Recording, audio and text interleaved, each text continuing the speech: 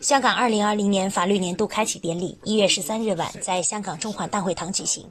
香港特区政府律政司司长郑若骅在演讲中表示，二零一九年许多香港核心价值都饱受冲击，大家最重视的核心价值法治也不例外。The state of turmoil in Hong Kong in 2019 has put us through the most difficult times. Many of the core values in Hong Kong have been under challenge, and the core value closest to our hearts. the rule of law is no exception.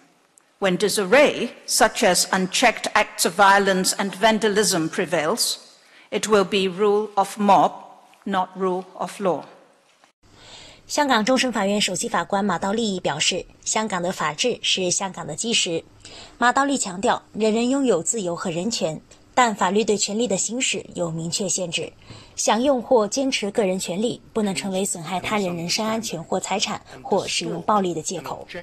The enjoyment of rights and freedoms also carries with it responsibilities, and it is simply not right to think that other people's rights, or even the rights of the community as a whole, should somehow be regarded as less important than one's own. The rule of law is rightly cherished by the community and is the foundation of a cohesive society. We must do all our best to preserve it and to treasure it, because once damaged, this is not something from which our community can easily recover. 当日共有近千位嘉宾出席典礼，包括香港司法机构人员、大律师公会和律师会代表等。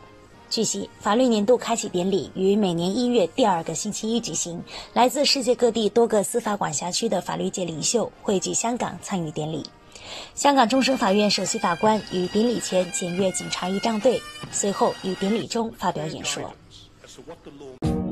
更多精彩尽在中国新闻网客户端。